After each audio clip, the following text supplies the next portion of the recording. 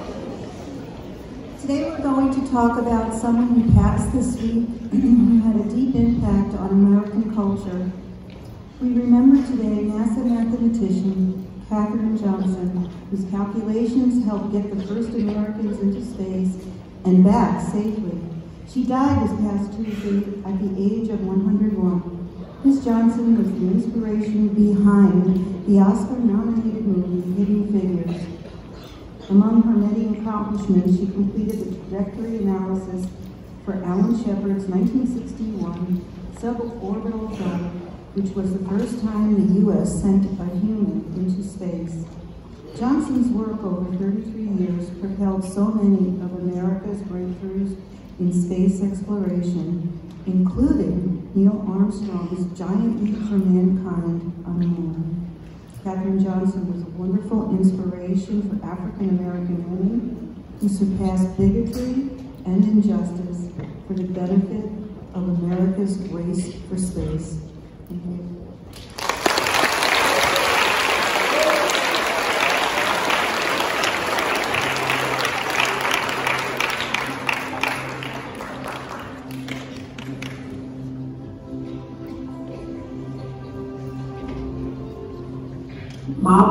problem was to answer questions.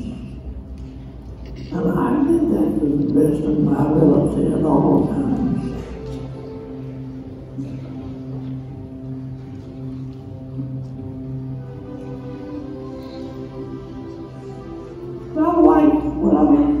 Liked work. I liked stars and stories we were telling. And it was a joy.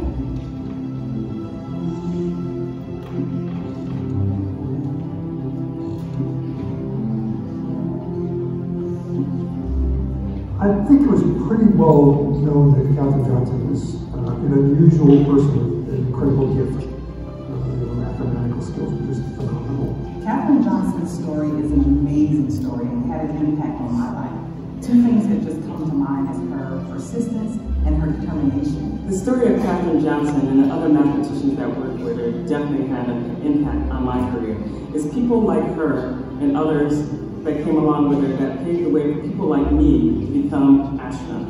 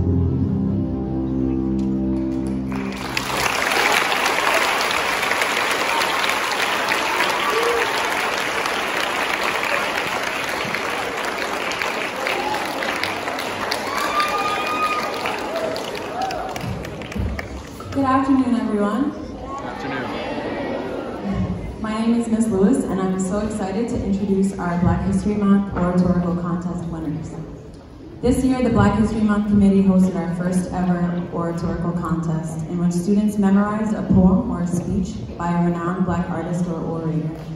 Students had two weeks to memorize their selected piece and performed it in front of our panel of judges last Friday. I'd like to thank all of the participants. We had over 40 students participate. It takes great courage to do a public performance, and they were all so amazing, which made choosing a winner even um, more difficult. We selected six winners who will be presenting poems and speeches by Maya Angelou, Langston Hughes, Gwendolyn Brooks, and Dr. Martin Luther King Jr. Let's celebrate the winners.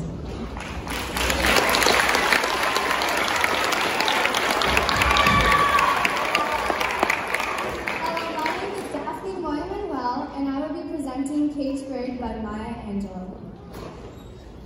A free bird leaps on the back of the wing and floats downstream to the current ends, and dips his wing in the orange sun rays and dares to claim the sky. But a bird that stalks down his narrow cage can seldom see through his bars of rage. His wings are clipped and his feet are tied, so he opens his throat to sing. The cage bird sings with a fearful chill of things unknown belong for still. And his tune is heard on the distant hill, the cage bird sings of freedom. The free bird thinks of another breeze, and the trade wind soft through the sighing trees. And the fat one's waiting on a dawn bright lawn, and he names the sky his own. But a cage bird stands on a grave of dreams, his shadows shout on a nightmare scream. His wings are clipped and his feet are tied, so he opens his throat to sing.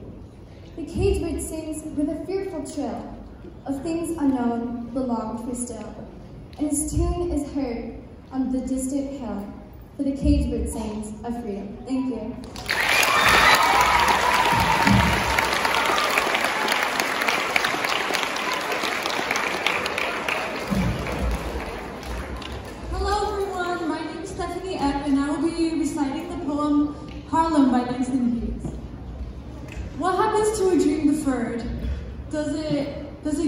Like a raisin in the sun? Or fester like a sore and then run? Does it stink like rotten meat? Or crust and sugar over like a syrupy sweet? Maybe it just sags a heavy load. Or does it explode? Thank you.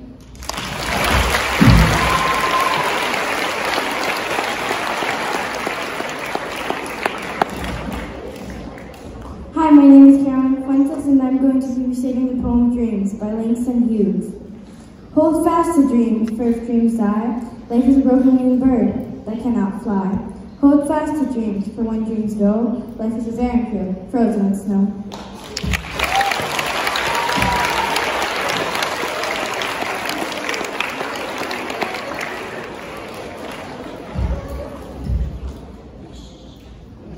Hi, my name is Ryan Palacio, and I'll be reciting to you a poem by Gwendolyn Brooks. It's called Martin Luther King Jr. A man went forth with gifts. He was a prose poem, he was a tragic grace, he was a warm music. He tried to heal the vivid volcanoes, his ashes are reading the world. His dream still wishes to anoint the barricades of faith and control. His word burns the center of the sun, above the thousands and the hundred thousands. The word was justice, it was spoken, so it shall be spoken, so it shall be done.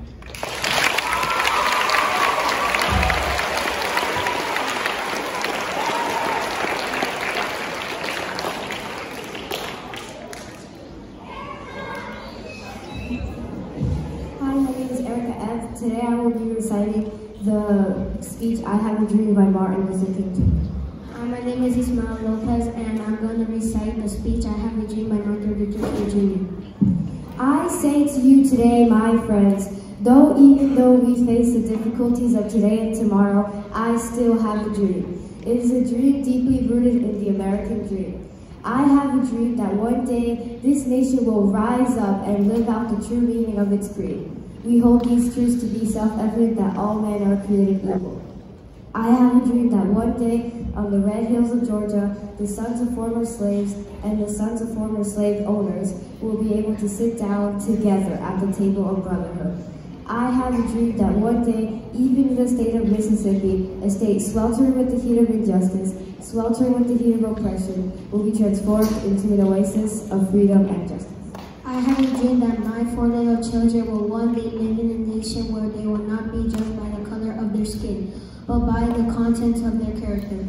I have a dream. I have a dream that one day in Alabama, with its vicious racists, with its governor having his lips dripping the words of interposition and nullification, one day right there in Alabama, little black boys and black girls will be able to join hands with little white boys and white girls as sisters and brothers.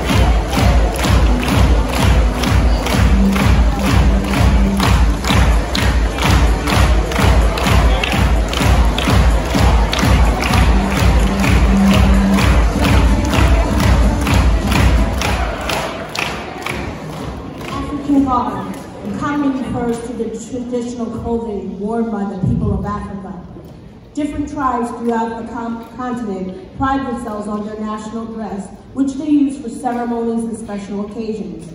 There are many varied styles of dress, and the type of cloth plays an integral role in fashioning the garment. The fabric often reflects the society in general, as well as the status of the individuals or groups within that community. The kente cloth is considered to be the most famous of all African textiles and one of the world's most complicated weavings.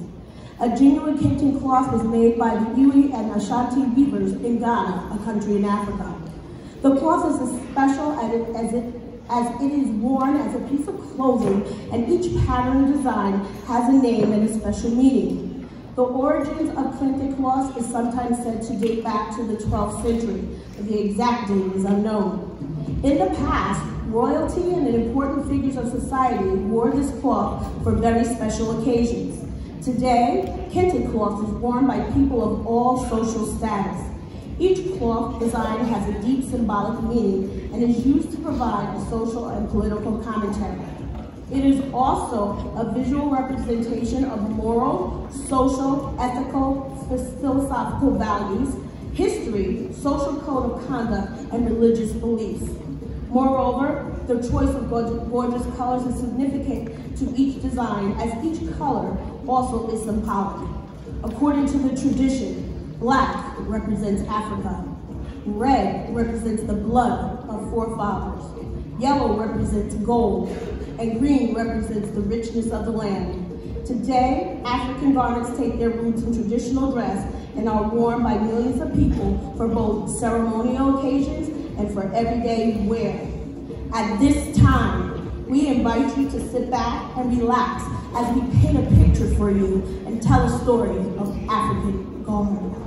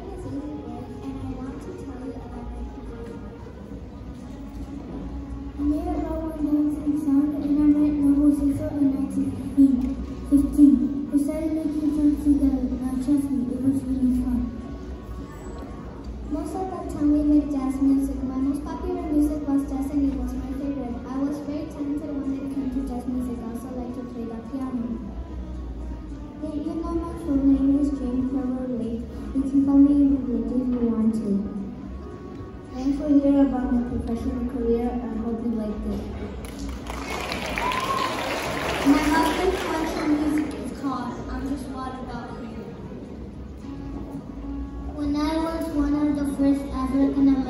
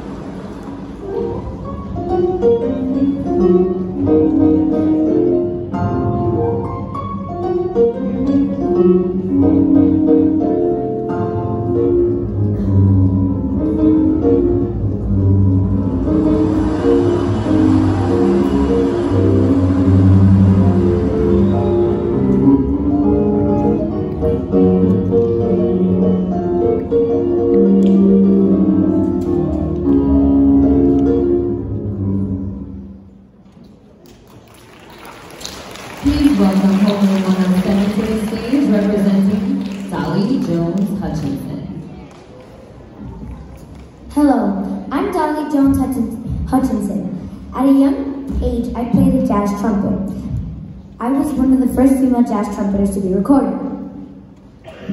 I was born November 27, 1902, Chicago, Illinois. My mother was Dyer Jones. My father played the saxophone.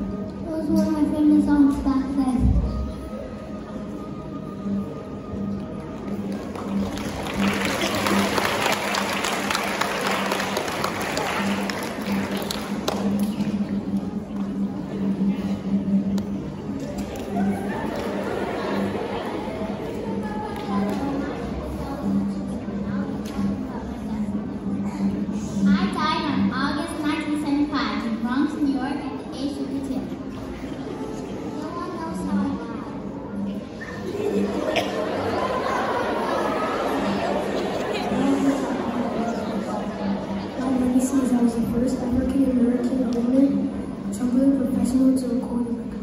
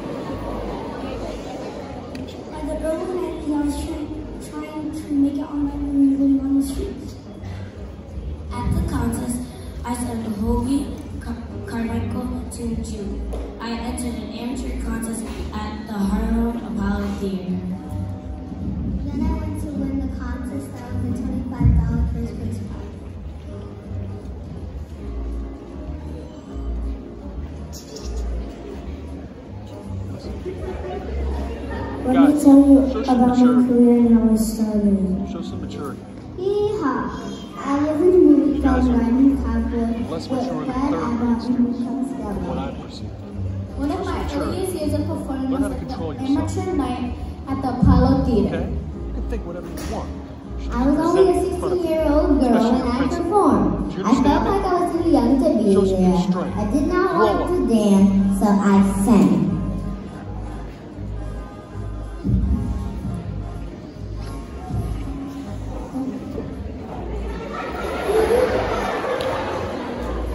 January 1935, I won the chance to perform with the Tiny Bradshaw Band at the Apollo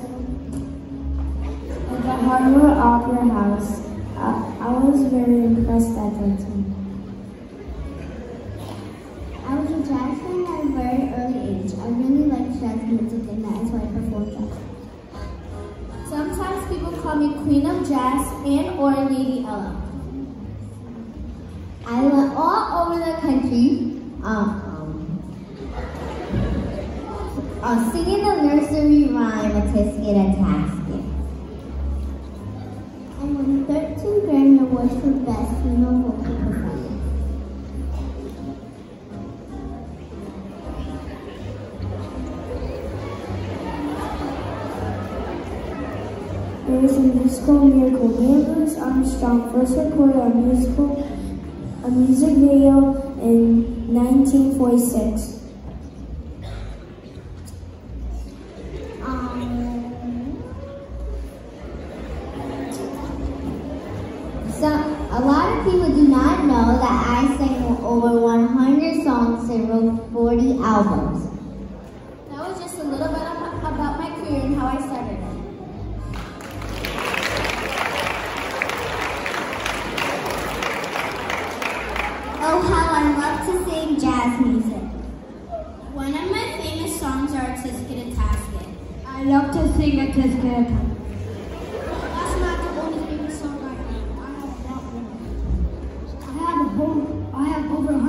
songs that you can sing in your head. Singing jazz music is really my thing. I will make sure you hear more jazz song. I have another favorite song, and it's called How High the Moon. Also, Easy Living.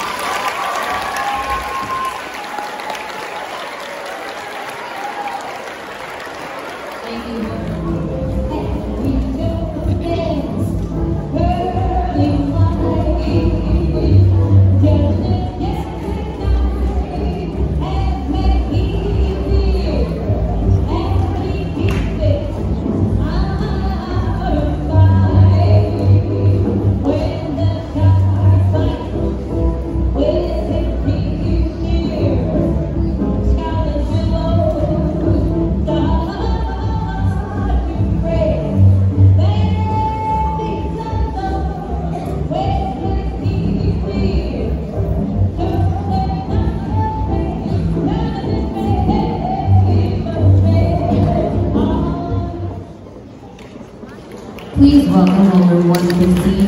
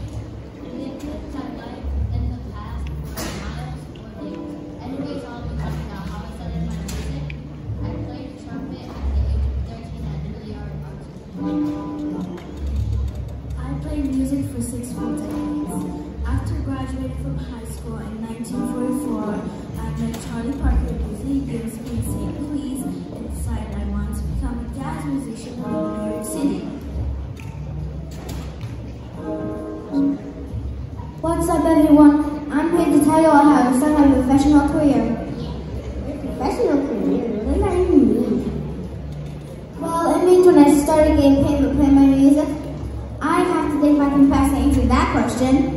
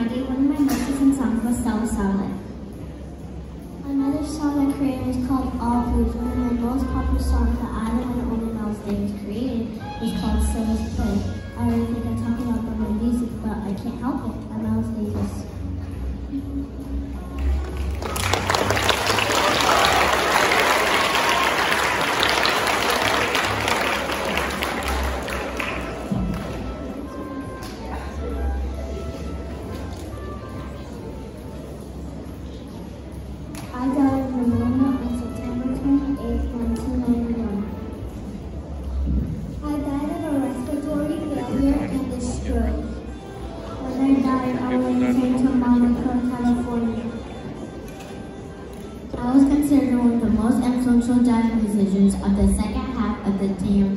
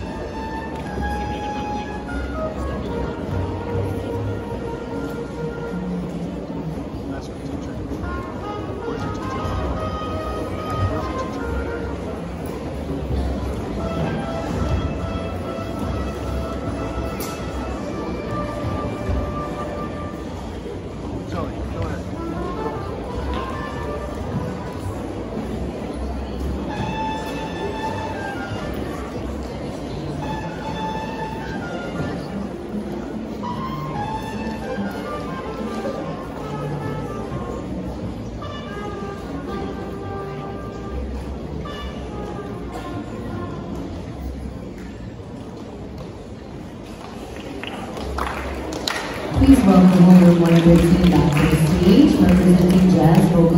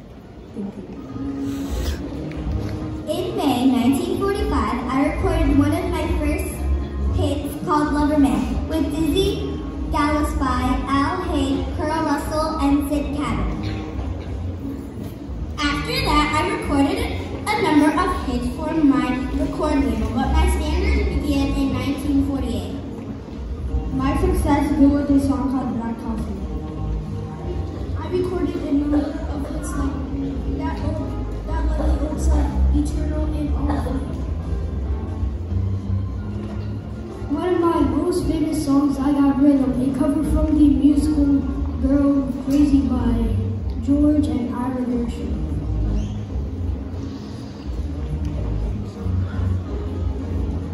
During the end of my career, I started to sing a lot more.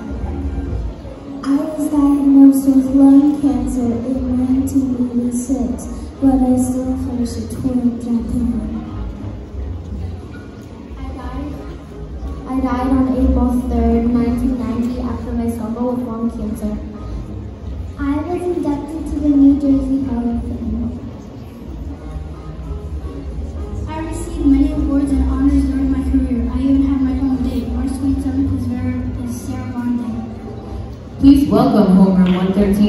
creates the music and that rhythm.